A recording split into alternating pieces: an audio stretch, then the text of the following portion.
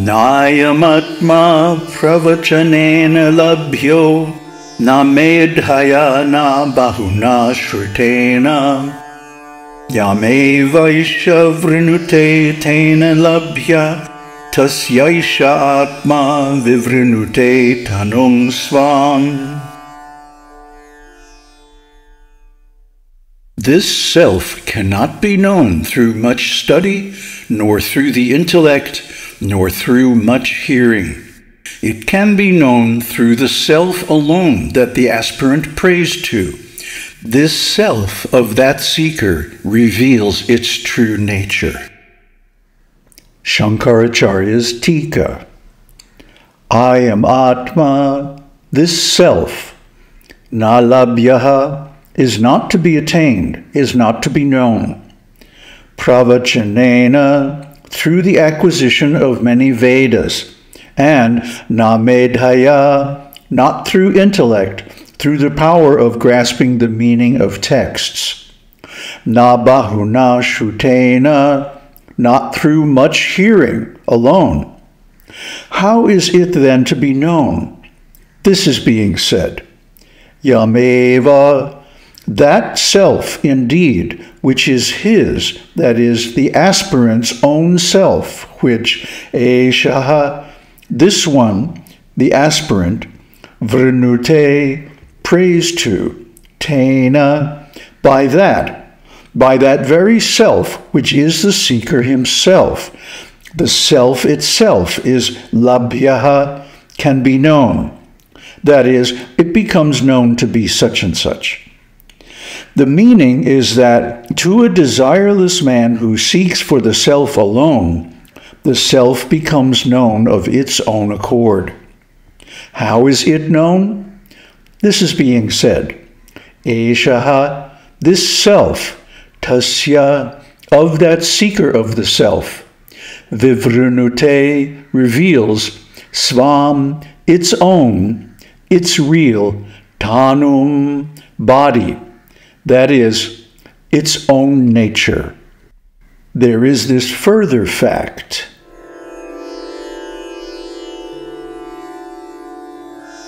Navirato dusharitam nashanto nasamahitaha nashantamanaso vapi pragyanenainamapnuyat One who has not desisted from bad conduct, whose senses are not under control, whose mind is not concentrated, whose mind is not free from anxiety about the result of concentration, cannot attain this self through knowledge. And the Tika, na avirataha, not one who has not desisted, dusharitat, from bad conduct, from sinful works, either prohibited or not sanctioned by the Vedas and the Smritis. Na ashantaha, nor one whose senses are not controlled, one who has not turned away from the lure of the senses. Na asamahitaha, nor one whose mind is not concentrated, one whose mind is scattered. Na nor one whose mind may be concentrated, but still who is ashanta manasaha, whose mind is not at rest because of hankering for the result of concentration. Apnuyat can attain, enam, this self that is being considered. Pragyanena, through knowledge of Brahman.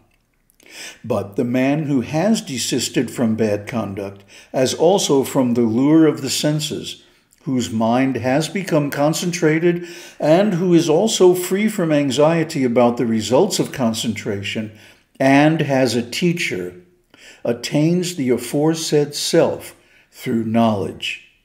This is the idea. Namaste.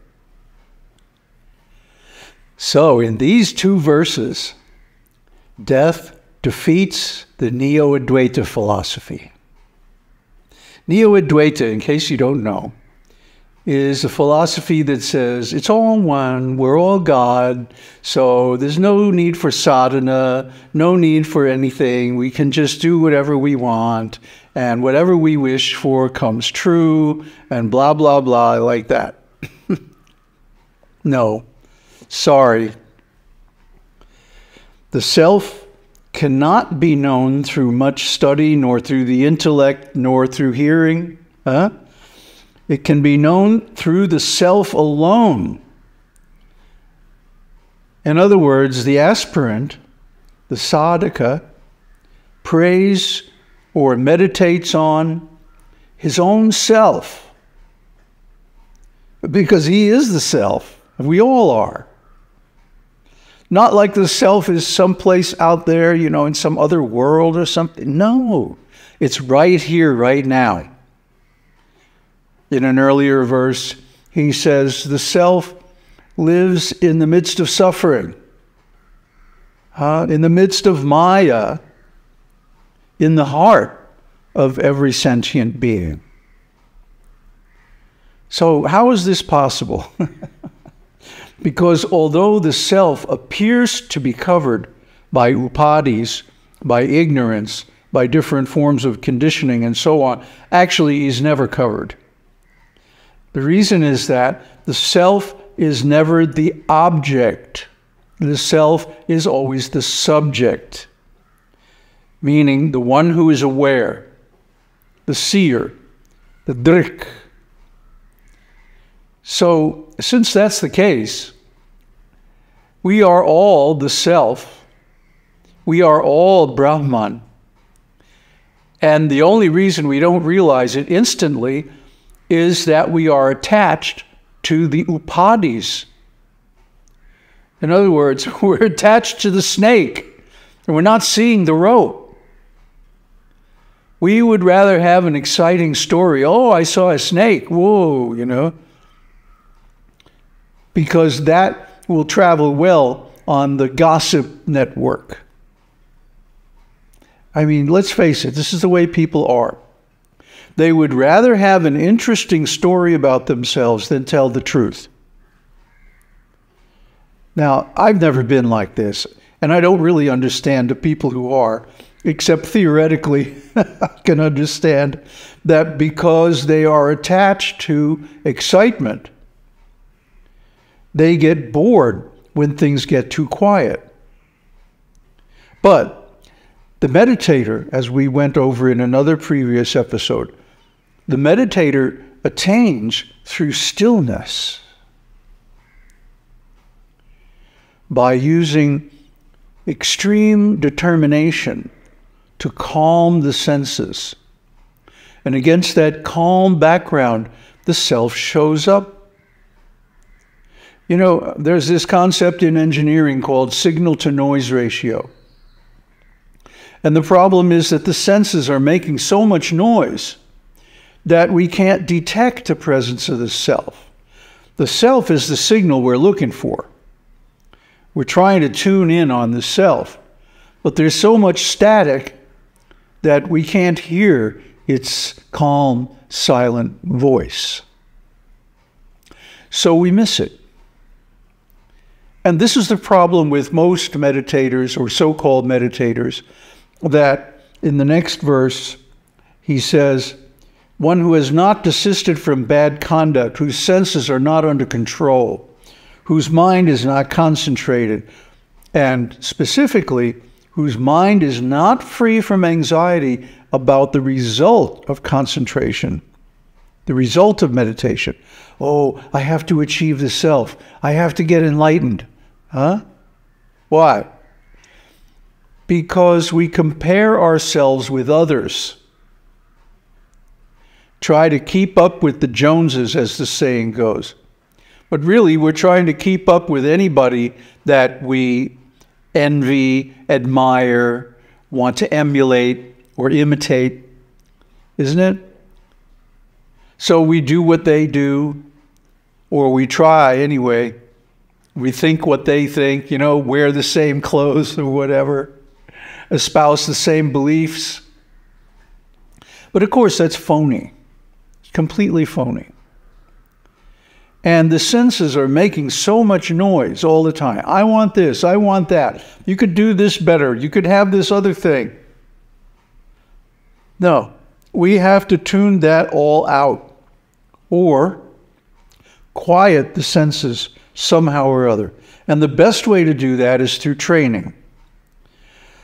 This training can take years, it can take decades, because you can't really impose any external disciplines on the mind. Even though you may think, oh, I have to uh, attain a quiet mind, I have to make the mind stop chattering. Try it. Huh? Just suppress the, by force of will the inner conversation of the mind. If you do it even for a few minutes, you will find the mind springs back with extra force. and it becomes even noisier than it was before. So, how do we do it? Through insight. We have to see very clearly and have the insight that our efforts to attain this, that, and the other thing are the cause of our suffering. Well, for one thing, effort equals ego. The more efforts we perform, the more the ego grows in strength. Because after all, who is doing the effort? I. so the stronger, the more effort we make, the stronger the I gets, the ego. But of course, this is a false I. The real I is the self, the consciousness.